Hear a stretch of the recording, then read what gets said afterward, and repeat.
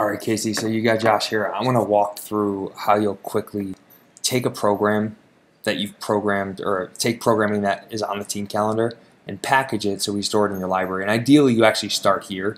So you'd start in your library, you build a training plan, and you then put that training plan or that program on a team's calendar, right? That way it's stored then in your library, and you can then reuse it, replicate it on another team, or even for the same team in the future.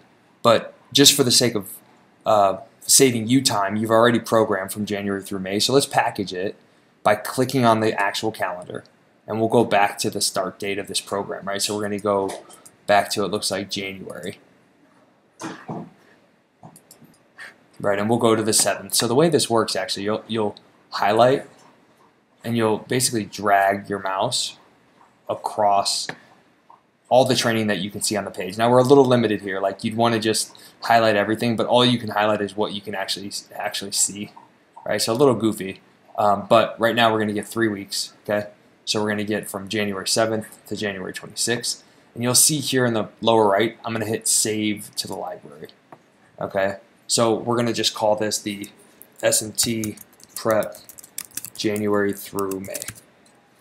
Okay, now I know we only have three weeks in here, but we'll we'll add more programming to that, right? So I'm going to hit save. So right now what we've done is we've packaged that and we've exported it to your library. So it's now going to be in your library. Okay, but we've only packaged three weeks, right? So I want to actually go from the from January 7th all the way to May. So the way that I'm going to do that is after these three weeks, I'm going to grab starting on the 28th. So I'm going to move forward to February. I'm going to start on the 28th. I'm going to grab these three. Now, I'm not going to actually save this to my library because it exports it like as a new program. Instead, I'm going to hit copy. Right, so at this point, I'm all the way down to February 16th, right? And I'm going to go into the library.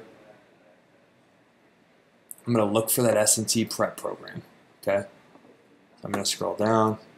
And I can do a search if it's easier since you guys have quite a bit, but here we go, right? I'm going to click on it. And what I'll notice is it's only three weeks long. There's no more programming here, so I need to actually come into the settings and adjust the number of weeks. Okay, so I'm going to adjust this to be like, I don't know, I guess like maybe 16 weeks or something. Okay, now I'm go back to the program. You'll see there's some blank weeks now. All right, so I'm going to go down to week four, and I'm going to just, I've copied them, so I'm going to right click, and I'm going to paste.